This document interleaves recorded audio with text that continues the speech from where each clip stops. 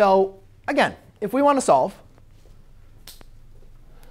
based on those five techniques we had, right, we can say that we have a cosine of theta. Let's isolate it. Just use our inverse operation. There's only one cosine of theta, so let's just undo everything that's being applied to that.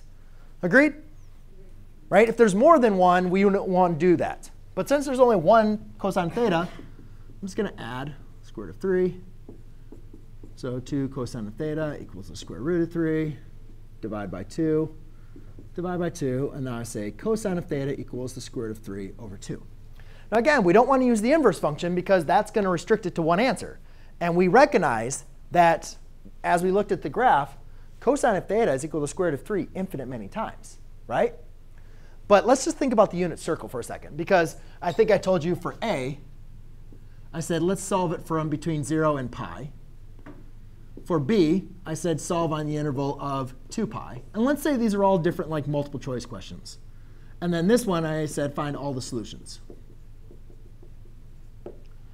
OK, so to really understand this problem, let's just draw the unit circle. Like I like the graph, but I think uh, sometimes the unit circle is just going to be easier to understand.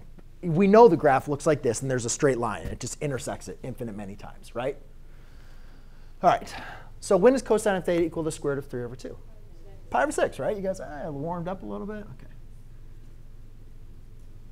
And it's not going to equal pi over 6 until back over here. Agreed? So the only one on the interval 0 to pi, from here to here, is pi over 6. Right? Just one answer. Right? Even though 5 pi over 6 is, uh, or I'm sorry, 11 pi over 6 is also a solution, it's not on the interval that I just restricted. But for b, that is the interval from 0 to 2 pi, which is basically everything that's on the unit circle. So actually, I'll use a, let me actually use set notation here. So this would be pi over 6 and 11 pi over 6. That's pi over 6, and then that angle is 11 pi over 6. Yes? OK. And then what if I said find all of the solutions? Right? So I would put both. But remember, there's now, now there's no longer any restriction. Right? So what would I need to add to get to pi over 6 to get to my next solution? 2 pi, right? You can't, you can't add anything from there. So therefore, this would be equal.